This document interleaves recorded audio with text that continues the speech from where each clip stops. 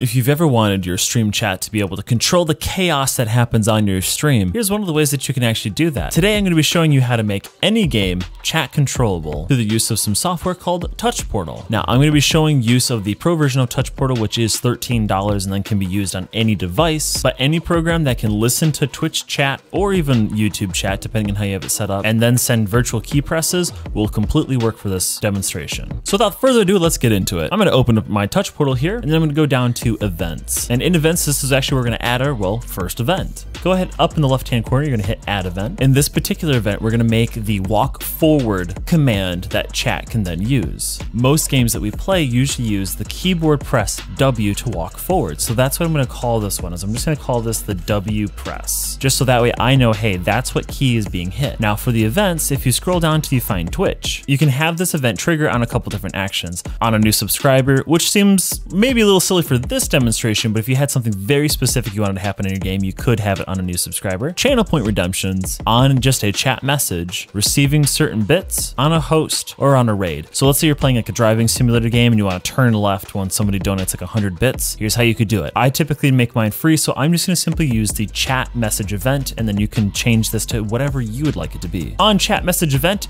you'll then see cooldown and queue lane. We'll touch those in a second. Down here though, you'll see everyone subscriber, administrator, turbo, moderator, staff, broadcaster, VIP. These are people that can use the command that we're gonna put over here in this tiny little right-hand box here. So I want everybody to be able to use this, so I'm gonna leave that checked. But if you only want subscribers to be able to use it, check subscribers. Maybe you want only your moderators to be able to use a certain command, like switching your scenes in OBS. Here's a way you could do that. Like I said, for me, I'm gonna use everybody. And when Twitch chat sends a message that is equal to exclamation point W. Exclamation point W is the command that I want my chat to use to move my character forward, and I want it to be only exclamation point W. So now that this is here, we need to create a flow of events that actually happens every time that this command is seen. So over on the left-hand side, we're gonna go down to input, and we're gonna be looking for the virtual key press. Once we've clicked that, a new dialog box will pop up. And in here, it's basically all the keys that you can press, well, virtually. So we're gonna find the W key, which is right here, or you can just type it in on your keyboard. And now we can set set the duration of the key press. I'm going to use 1000 milliseconds or one second for this demonstration. So that means that every time that exclamation point W is sent in chat, it'll hold the W key virtually for one full second. So that your character will then move forward for one second. So once that's set up, I'm gonna go ahead and hit add. And now we just have a key press, W. Back up top to the two that I skipped earlier of cooldown and queue lane. If you don't want chat to be able to spam a certain action, go ahead and set a cooldown. So this, if I set this to 5000 milliseconds or five seconds. That means that no matter how many times people spam this key,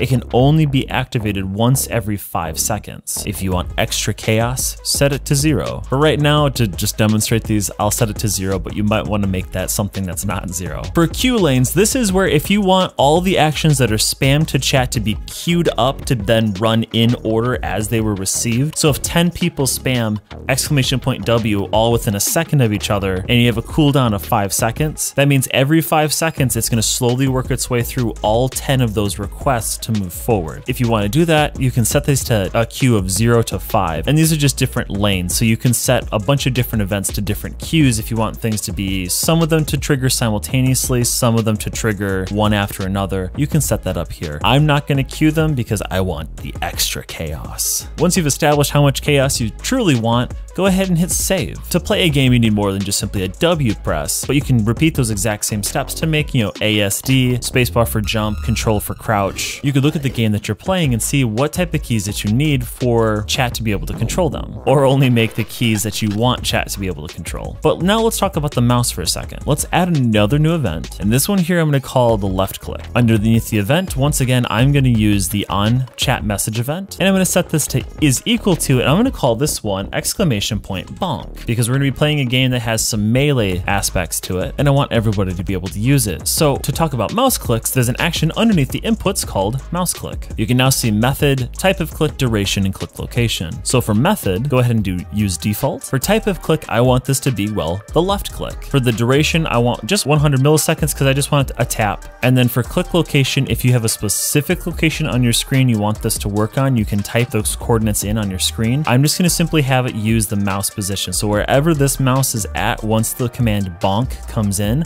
it will just automatically trigger the left click wherever the mouse is at. Go ahead and click add. And now you have a left click action. Then once that's done, go ahead and just repeat those actions for maybe a right click or a middle mouse click, however many different mouse clicks that you might need to play the game that you're playing. And here, let me show you an example of the type of chaos that can ensue when you let chat control your games. That way. Towards that direction. Not, not, not the way you're trying to go. Yeah, yeah, you chat. There you go. No, no, guys, no, we're right there.